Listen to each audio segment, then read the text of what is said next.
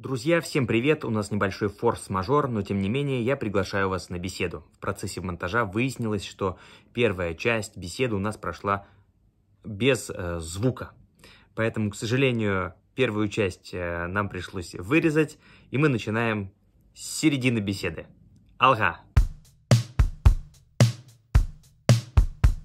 Мы разобрались с техническими неполадками.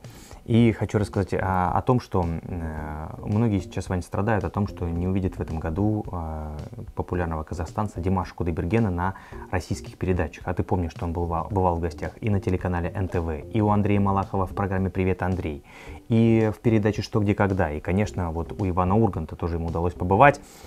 К несчастью для российского телевидения теперь в этом году, да? Будет не, скучно. Не побывает? Есть прогноз, что, возможно, будет скучно. Но, вопреки всему, а, казахстанцы все равно попали в, буквально в предновогоднюю передачу к Ивану Урганту. А, казахстанские артисты Мади Токтаров и Владимир Золотухин выступили в программе «Вечерний Ургант» на Первом канале. Артисты исполнили новый трек «Белый флаг», который был выпущен 26 ноября 2021 года. О чем это говорит? Я вот э, регулярно слежу за Иваном Ургантом и вижу, что постоянно казахстанцы принимают участие в его передачах. Ну, я, кстати, знаю этих ребят. МД, да? МД, да. Откуда ты знаешь? А, а он уже не первый раз у Урганта. И, кажется, про него даже рассказывал, как про молодого и невероятно талантливого певца, певца из Казахстана. А, а «Золото» в фильме а, Нуртаса Адамбая а, «Кудалар» Там, Ой, я тоже его смотрел. Там был фрагмент, где, а, в общем, они там танцевали всю ночь, там, потом да, да. возвращались. Типа такие, мальчишника, да, был? Ну да, типа, типа, типа того, да. И такие, вот, там, э, типа, жена не будет ругаться, можем сидеть сколько хочет. Ну, потом, естественно, свое получили. А... Это достаточно большой зал. 500 человек вмещает. А раз у тебя такая интересная новость про молодых казахских вокалистов, у меня есть э, новость про то, что фонд Батырхана Шукенова выпустил альбом участников Батыр Lab.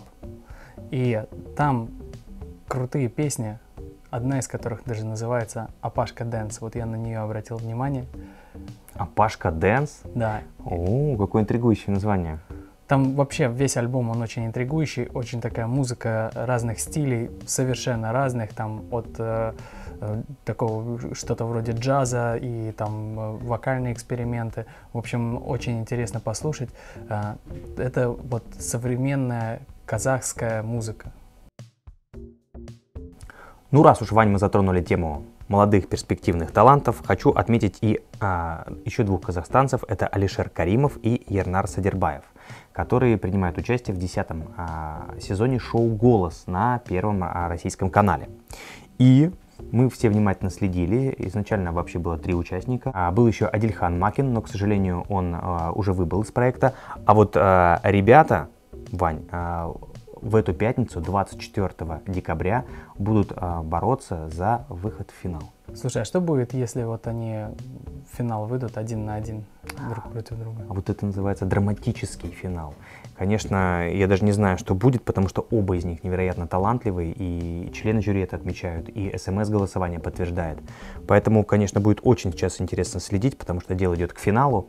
А, не забудьте проголосовать, голосование, Вань, как ты знаешь, в смс-режиме проходит. Поэтому шлите смс за понравившегося вам артиста. Мне кажется, если они будут в финале, то победит дружба. И это будет первый, э, первый раз, когда на шоу «Голос» победила дружба, и когда в финале встретились два э, певца из Казахстана. И, кстати, это будет, э, наверное, очень даже интересно и для продюсеров, потому что такого еще не было. А казахи, как ты знаешь, да, вот как Димаш любит, Умеют и Ержан Максим, они меняют постоянно шоу, в котором принимают участие.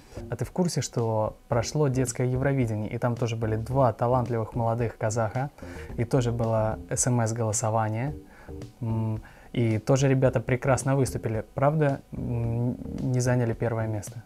Слушай, ну я считаю, что для детского Евровидения это не так страшно, потому что для детей вообще самое важное это то, что они а, вышли в финал, то, что они представили свою страну, то, что они обменялись опытом с другими молодыми конкурсантами. Ведь там, я так насколько понял, очень достаточно сильная и разбежка в возрасте, потому что есть и 14-летние участницы, и участники, и 8-летние. Поэтому а, я смотрел, я посмотрел выступления ребят, и мне показалось, что они очень достойно выступили, и я безумно рад за то, что и Россия, и Казахстан – были вместе, а, заняли седьмое, восьмое место в этом, а, в этом шоу.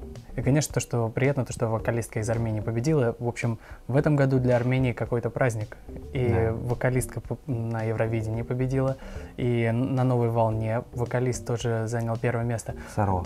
Саро. Еваркен. Что это получается? В следующем году Евровидение едет в Армению. Надо новый волны. Ваня, у нас есть армянский коньяк. Может, мы с коньяком поедем сразу на детское Евровидение?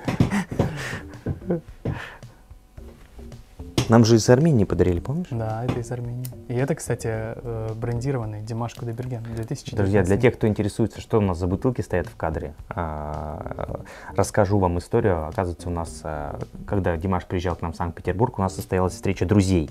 И на этой встрече друзей были представители из Армении, которые подарили нам вот этот замечательный брендированный а, коньяк. А там второй есть еще? Одна бутылка, которая поменьше, это для нас, а вот та, которая побольше, это для Димаша. слушай, наоборот. Кудайбергена. Димаш, Димаш поменьше. А, извините, да, точно. Вот. А нам побольше. Ну, мы, мы, кстати, не пьем с Сашей. И вот, как видите, с 2019 года эти две бутылки ждут своего а, часа. Своего часа, да. И э, даже вот, я не знаю, э, даже в сложные времена, представляешь, мы ее не открыли, когда, когда канал э, «Эхо Петербурга» закончил свое существование. Вот. Канал закончил свое существование, а вот трофей остался. Да, ну не только трофей, смотри, экипировка какая у нас сегодня. Символично. Да. Символично. Кто-то тебе так звонит? Я даже номер не знаю. Слушай, может это спонсоры? Я потому что вот следующую новость э, хочу рассказать. Э, дело в том, что в Петербурге не, э, поддержка некоммерческих культурных проектов превысила миллиард рублей. Может это Подожди-ка. Может, надо было ответить. Какая может, чудесная это, новость. Может, это важный звонок. Я начинаю сопоставлять факты. У нас, Ваня, культурный, некоммерческий проект. И получается, до, до нас должна дойти помощь вот-вот. Получается, туда как-то надо отправить заявку, но как это, как это сделать? Как это сделать? Кнопки непонятно. нет, да? Ну, а, что поделаешь? У тебя, я так понимаю, новости закончились, поэтому... Нет, я хочу главную новость рассказать, а, ради давай. которой мы все здесь собрались.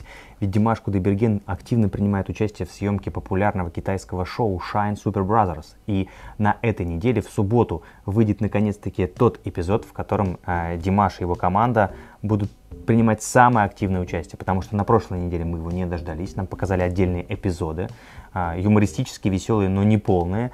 А вот в эту субботу я думаю, что мы увидим а, во всей красе выступления Димаши и его команды. Вообще, Саш, я тебе могу сказать, китайцы в этом плане молодцы, такое шоу замутили, прям приятно смотреть, и я на самом деле не сожалею, то, что э, на Первом канале э, в этом году будут э, другие артисты, и Андрей Малахов, я думаю, тоже с большим удовольствием смотрит, смотрит Shine Super Brothers. Смотрит Shine Super Brothers, кайфует, тем более, что там есть субтитры э, на русском языке. И я думаю, что Андрей Малахов не только смотрит э, Shine Super Brothers, а есть еще одно крутое шоу, которое выпустил телеканал Хабар, и оно сейчас идет в эфире, каждый день можно смотреть его. Называется The Lab Battle. Что-то знакомое. Мы, кажется, в Алматы. Мы в Алматы приезжали на съемки этого шоу, и там мы познакомились а, со всеми крутыми ребятами. Там и артисты, и Э, боксеры, там ММА, э, разные бойцы, борцы. Юмористы были Юмористы, даже. ведущие, э, актеры театра, актеры кино. В общем, там невероятная компания. Очень интересно смотреть, что получилось, потому что мы присутствовали на съемках. Знаем, что в финале этого шоу вас ждет большой сюрприз от Миржана Турибаева. Очень смешно, да, было. Поэтому обязательно смотрите, следите и за этим шоу тоже. А, это очень интересно. Пацаны, вы очень крутые, поэтому было приятно со всеми познакомиться. Да, мы, что вначале у нас был настрой. Какой? Боевой такой. Ну что, Ваня, поздравляю, у меня закончились новости. Можно... Как-то ты, Саш, как ты, Саш, сегодня быстро. А что, у тебя еще что-то есть? Да, у меня еще... Давай-ка я тебе тогда новости расскажу, потому что у меня есть еще. Давай, на пасашок. А, мы с тобой поговорили про Дала Баттл, и там был, помнишь, а, боксер такой Жан Кош, нокаутер, э, непобедимый. Да, я к нему близко не подходил, кстати. Он, мне показывал э, тиктоки свои. В общем, э, несмотря на то, что все подшучивали там над ним, говорили, о, там в тикток э, ушел, спорт забросил. А в прошлой беседе мы говорили о том, что у него намечается бой с египтянином. Да-да, я помню. Там какой-то мощный соперник, храброе сердце у него. 39 лет, и, да, и ни одного поражения не было. Э, одно, по-моему, поражение было, да? И вот э, Жан Кош ему нанес второе. И, к счастью для египтянина, бой продолжался недолго. Он его быстро вырубил фирменным коронным ударом, пробил по животу, там, Да в ладно? область, в область э, солнечного сплетения, там, куда-то туда. И египтянин обратно отправился на курорт. Египтянин, да, Красного теперь, теперь будет восстанавливаться. Ну, 39 лет молодец вообще, что э, вышел на бой, подготовился. В 39 лет довольно тяжело э, себя заставить, э, потому что, ну, все-таки бокс это не только бой, не только то, что мы видим, а это долгий-долгий процесс подготовки. Там они и вес сгоняют, и приводят себя в максимально, в максимальную форму. Продолжаю? Ну, а что, хорошие новости, давай, продолжай. Давай. Группа кино Мгм. Если знаешь, э, есть такой, был такой э, прекрасный человек Виктор Цой, э, лидер поколения, э, артист, э, вокалист, э, музыкант, гитарист, актер. Э, Он, кстати, снимался в фильме «Игла». И в Алматы, когда мы были, мы видели на улице Тулебаева Мы видели его памятник. памятник да, Виктору Цою. И даже с Рашидом Нугмановым удалось познакомиться. Это режиссер фильма «Игла» и друг Виктора Цоя. А, Так вот, группа кино отправляется в турне в 2022 году. Группа отправляется по разным городам. Это будет Петербург, Москва, Минск и Нижний Новгород. Вот это да. Сколько удовольствия получат э, поклонники творчества группы кино, ведь, согласись, а, услышать эти песни вновь спустя столько лет, причем а, в компании единомышленников, там, я так понимаю, это будут либо стадионы, либо большие концертные залы, это дорогого стоит. А, Как вы знаете, друзья, как ты знаешь, Саша, наш друг Андрей Бурмакин запустил вторую часть комиксов «Манги» про Димаша. Да. А в свою очередь, если ты знаешь, был такой фильм «Брат», Конечно. И брат 2 был, И брат 2, да, это который... а, Балабанов когда- снял. Да, да. Типа, а, в чем сила, брат? Да, В правде, брат. да. А я думаю, что сила в правде. Который там, я узнал, что у меня есть огромная семья. А, так вот, выйдет комикс, сборник комиксов по фильму «Брат». Вот это да. Интересно. Я думаю, что, во-первых, я знаю, что у этого фильма у- огромное количество поклонников, поэтому я уверен, что и комикс будет пользоваться тоже большим спросом. Особенно если как раз вот все вот эти великие э, выражения из этого фильма будут там использованы. Я уверен, что сохранится стиль фильма «Брат», а, потому что это культовый фильм. Единственное, что знаешь, что я хочу сказать, это то, что сценарий изменится. И э, не будет такого, что сценарий будет тот же самый. Хотя я Но уверен- место действия это в Петербурге будет. место действия будет в Петербурге, и будет очень много пересечений вот, э, с сюжетом фильма. В общем, э, это должно быть очень интересно. Музыка твоя американская. Говно. Мне кажется, сейчас все зрители выдохнули с облегчением, сказали, ну наконец-то. И у Ну, ну, Ваньки наконец-то- новости закончились. Наконец-то перейдем к э, главным новостям. А, Дело в том, что в Дубае Димаш открывает ресторан. В э, 2022 году, 15 марта, откроется ресторан прямо в центре Дубая. Очень крутое место, очень крутой ресторан. э, Обещает невероятно крутую культурную программу и гастрономические, Изыски. да, Вань, надо ехать. Саш, надо ехать, только надо, чтобы нам вот Министерство культуры выделило, выделило дотации какие-то или что-то произошло, потому что а, ценник не маленький. Ну, Ну, нас- это, это Дубай. Ну да, насколько я знаю, что там действительно очень все с размахом подошли люди к, к этому процессу и сделают самую крутую площадку, на которой будет шоу мирового уровня, на которой будут приглашаться звезды мирового уровня. Поэтому а, ну, такого рода развлечения должны быть, потому что вот я знаю, что и Андре Бачель наверняка бы с удовольствием выступил на такой площадке. И Ну, там кто угодно может выступить. Там и Бритни Спирс, вот, которая недавно освободилась, которую мы вспоминали в начале. может быть, она только ради этого и освободилась. Может быть, там, глядишь, и может э, случиться невероятные дуэты, о которых все мечтают. Например, э, дуэт Селин Дион и Димаша, о котором сам, сам Димаш тоже мечтает. А может быть, Игорь Крутой туда приедет со своим роялем и с песнями, которые он написал для Димаша. Ведь недавно, а, я думаю, что многие знают, эти песни вышли на Spotify.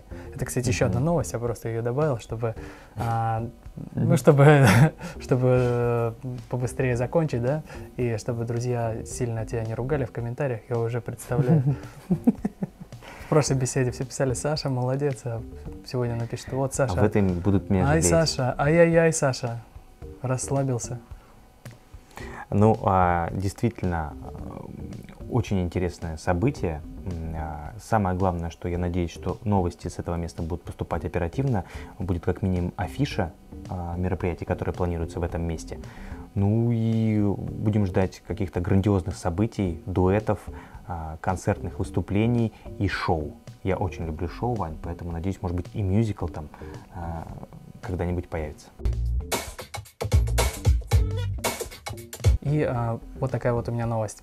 А, наша подруга Эльгиза Каражанова, если помнишь, молодая вокалистка, которая уже сейчас штурмует а, Москву и выступает а, с самыми разными артистами на одной сцене.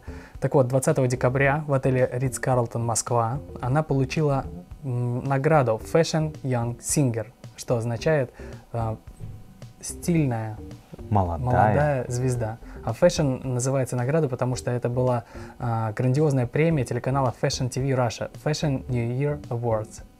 Я очень рад за Эльгизу, потому что при нашей первой встрече я увидел, насколько это талантливая, амбициозная, целеустремленная девушка. Поэтому хочется ей пожелать, чтобы это была далеко не первая награда в ее жизни. И пусть в новом году ей удача продолжает улыбаться. Звездный час, любви сплетения. с ней вместе пою, где она одна поет. поддержка. Хватит на сегодня. Оставлю новости для передач на наших каналах. АЛГ Петербург, Эхо Питера. Так что, друзья, следите за передачами, следите за выпусками. Очень много интересного вас ждет. Мы, да, мы еще для вас готовим невероятную новогоднюю программу. С песнями, танцами и сюрпризами.